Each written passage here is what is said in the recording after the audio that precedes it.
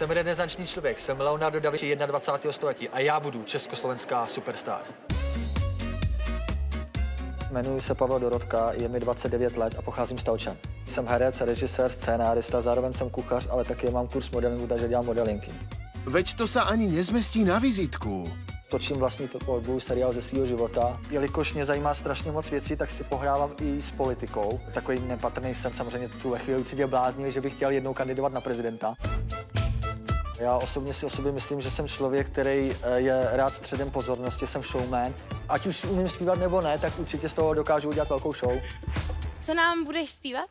Já jsem si vybral uh, Slavíky z Madridu, protože k ní mám takový zvláštní jakoby pouto v té písnice. OK. Já si myslím, že nemám úplně vyloženě pěvecký ambice, protože jsem jakoby přišel si vyzkoušet jako další to televizní účast po těch několika předchozích. Jo, aby si to jako odškrtnul. No jasně, no, je to asi nějaká 23. role v televizi. Dobře, dobře, no tak Eh, uh, chcete nestrácejme čas a Ne, zpívat. ještě- jestli- jo, ještě můžu, jenom odškrtnout. Já si představím ještě, že jsem jakoby na pódium, jo, tohle jako Nemusíš koncert, ani vy nic mluvit, jenom začni zpívat jo, tak kdo bude, bude hrát nějaká hudba, nebo zpívám jenom? No jestli to máš s podkladem, Ne, ne, nemám vlastně, nemám. tak pak žádná hrát nebude. Tak, tak, jo, tak já teda začnu, můžu? Tak jo.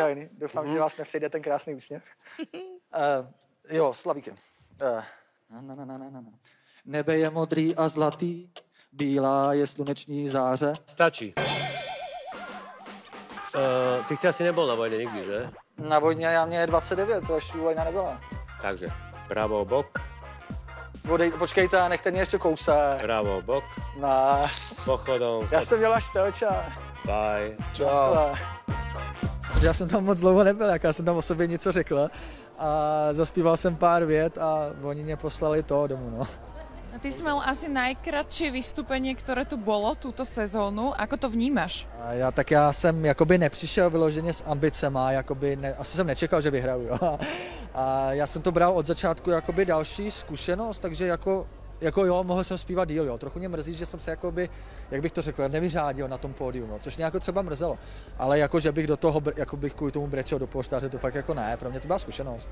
Zajímavá, potkal jsem známý lidi, akorát teda mě fakt mrzí, že jsem se jakoby nevyřádil do té televize víc, což mě jako scházelo. Já jsem takový živel, jako že se rád předvádím, takže což teda asi teď poznala trochu, tak jako škoda no. Ešte mi povedz, na koho z poroty si sa najviac tešil a prečo? Já jsem se těšil na herečku Patrici, protože jsem dřív sledoval seriál Ulice, tak mě určitě lákalo setkání s ní. A myslím si, že je sympatická, to jako jsem asi poznal jenom za tu chvilku, že jo, takže mi přišla jako sympatická ženská, takže. Nehnevaš sa na nich?